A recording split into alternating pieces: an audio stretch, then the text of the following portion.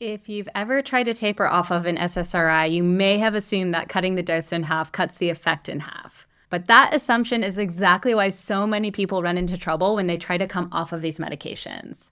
I'm making this video because, as a physician and health coach who helps people to taper off of their medications prior to psilocybin therapy, I've met too many people who don't quite understand how these medications work and how to come off of them safely.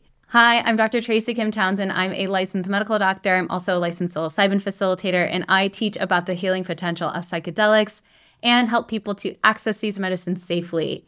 As always, this content is for educational purposes only. In this video, we'll walk through the most common mistake that people make when discontinuing their SSRI antidepressant medication, the science of serotonin transporters, which is the site of action for these medications, what hyperbolic tapering means, and towards the end, I'll share an emerging idea about using psychedelic microdosing as what is called a bridge therapy. It's experimental, but it could change everything we know about approaching this whole process. So stick around because once you understand how all of this works and this new possibility of microdosing, you'll see tapering in a completely different light. Most people assume that antidepressant tapering is simple math. If you cut the dose in half, your brain experiences half the effect. And it feels logical, it's neat, it's the way that most people conceptualize this process. But that's not how the brain and these medications actually interact. So, to understand why, let's first look at the neuronal synapse. So, the synapse is the tiny meeting point between two neurons. On one side, we have the presynaptic neuron. So, this is the neuron that releases the neurotransmitters like serotonin into the gap, which is also known as the synaptic cleft. And on the other side of the synapse, we have the postsynaptic neuron, which has receptors to catch the neurotransmitters. Once the neurotransmitter nestles into the receptor like a lock and key mechanism, this triggers a signaling cascade downstream into the postsynaptic neuron to pass the message along. Once the message is delivered, most of the serotonin is then recycled by special pumps called serotonin transporters, or SERT, S-E-R-T, which lie on the surface of the presynaptic neuron. SSRIs, or selective serotonin reuptake inhibitors, act on these serotonin transporters. So when you take an SSRI, the medication sits on that pump and blocks it. So serotonin stays in the synaptic cleft for longer. And here's the key point the relationship between the amount of medication that you take and how many serotonin transporters the medication blocks is not linear, it's hyperbolic or curved. The graph that relates the amount of medication taken to the percentage of serotonin transporters occupied is called the SERT or SERT occupancy curve. Here's the SERT occupancy curve for sertraline or Zoloft from the Maudsley Deprescribing textbook. Notice how the line shoots up steeply to the right at the beginning. So, at a low dose of just 25 milligrams, about 70% of serotonin transporters are already occupied. The drug has what we call high affinity for its target. And doubling the dose doesn't double the effect, it only blocks it a little bit more. So as we go up to higher doses, the effect is only marginally greater. And that's why we see the curve flattening out. So going from 25 milligrams to 50 milligrams doesn't double the effect. It only nudges the percentage of serotonin transporter occupancy by about 10% up to roughly 80%. And then doubling the dose again to 100 milligrams brings it up only another 5 percentage points to around 85% occupancy. Now that you understand this curve, the next question then becomes how does this translate to real life tapering? And this is where most people's intuitions can lead them astray. The natural assumption is that tapering should be linear, and most people want to make only small adjustments in the beginning. But when you look at the SERT occupancy curve, you can see why that doesn't really make sense or work. At the higher doses, you can actually make larger reductions without much impact. You can go from 100 milligrams down to 80, and the curve barely moves. You don't lose much transporter occupancy.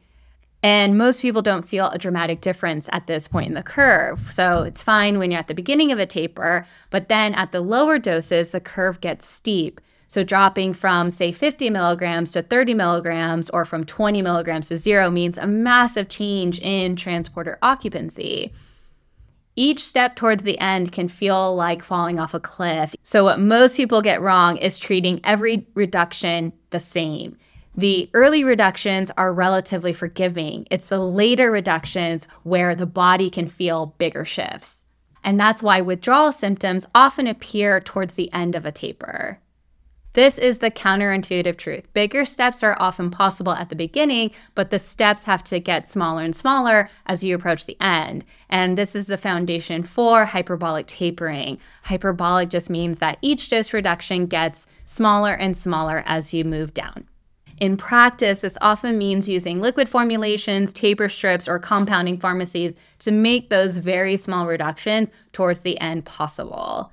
Hyperbolic tapering is the gold standard, but what if there are ways to support the nervous system even more during those final, most sensitive steps?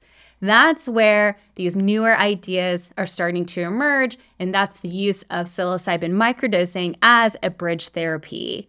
A bridge therapy is a temporary supportive treatment used to smooth the transition between two phases of treatment. For example, microdosing to help stabilize mood and ease withdrawal symptoms while tapering off of an antidepressant medication. The rationale here is that very small subperceptual doses of psilocybin might support the nervous system during those final doses of tapering, helping with mood stability and emotional flexibility as serotonin transporter occupancy is changing. Microdosing could also provide a gentle boost in neuroplasticity, giving the brain more adaptability while withdrawal symptoms are at their highest risk of showing up. So you can think of it like softening the landing as you come off those final doses of your medication, giving your nervous system extra support in that transition phase. But it's important to be extremely clear this approach is still experimental. There aren't any large clinical trials yet, and it's not a standard part of deprescribing guidelines. For now, it's just a promising idea being explored at the frontiers of medicine with self experimenters and biohackers, basically the clients that we have at my practice called Meadow.